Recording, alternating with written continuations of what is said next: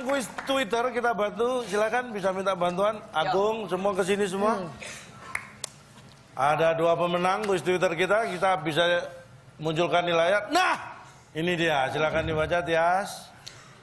At ini underscore talk show, at IKEA underscore IND, pengen buka bareng Tias Mirasti, pengen tahu aja gimana saya buka puasa bareng bidadari. Wih, hashtag ini sahur hari ke-9 IKEA. Itu tadi yang pertama, yang kedua Terima kasih, sekarang tuh? siapakah? Sandi. Itu tadi Sandi ya. Ya. Yang kedua yang dapat masih dibikin ya, sabar. Karena memang ini diserahkan secara langsung. Siapakah yang menang? Ini dia, silakan. Melayu bacakan. Aku mau ajak buka bersama at Shelly Maseha, Mahesa. Mahesa. Udah 4 sampai 5 tahun gak ketemu. Mungkin saja kita bisa melepas rindu. At ini underscore talk show.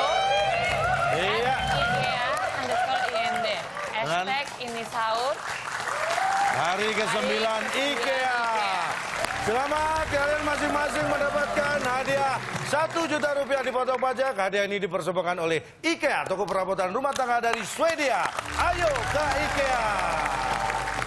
Ya, terima kasih duduk. Terima kasih.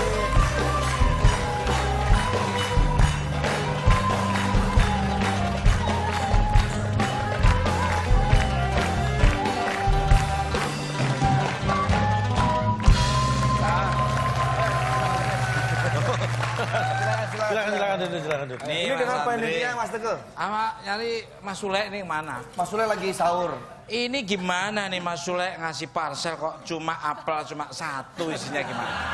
Gak mungkin. Tadi dari sini kita kasih parcel itu lengkap buah-buahannya. Harusnya jangan satu separuh dari ini.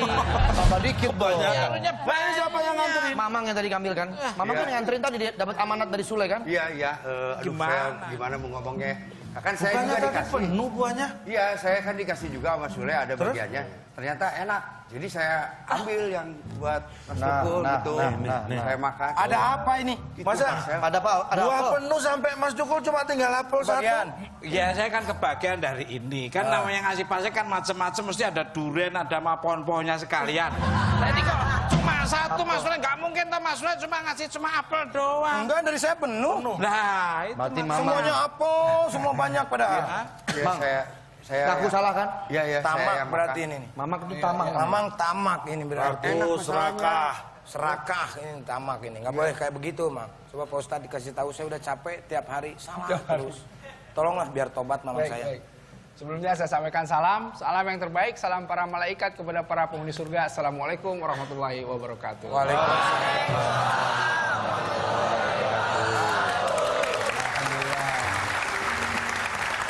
Jadi, Bang Sule, Ya, Pak Ustadz.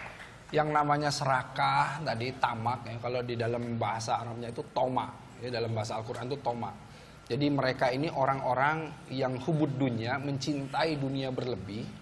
Jadi akhirnya mereka mengumpulkan harta yang banyak, menghitung-hitungnya dan sulit untuk mem- membelanjakannya di jalan Allah. Nah, itu orang-orang yang ciri-ciri orang yang tamak itu.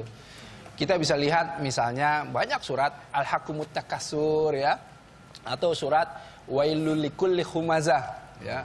Coba saya pengen tahu di sini pada hafal nggak? Wailul wailul likulli humazah Tilu aja. al humazah alladzi jama'a malam wa dada. Wah, ini terusin terusin. Yahsabu anna malahu ahlada. Kala layum bazana fil hutomah. Wah, ini hebat semua. Semua, apal semua. Tapi ada yang keluar asap di kepalanya. Lain ya.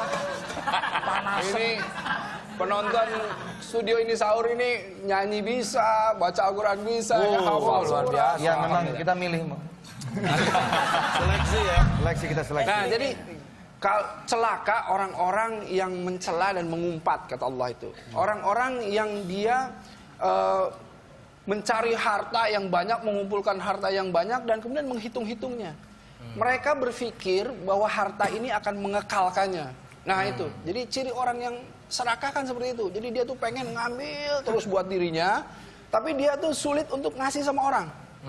Nah, padahal kalau kita lihat ya, sukses itu itu bukan berapa banyak yang kita dapatkan. Misalnya punya rumah sekian, punya mobil sekian, bukan.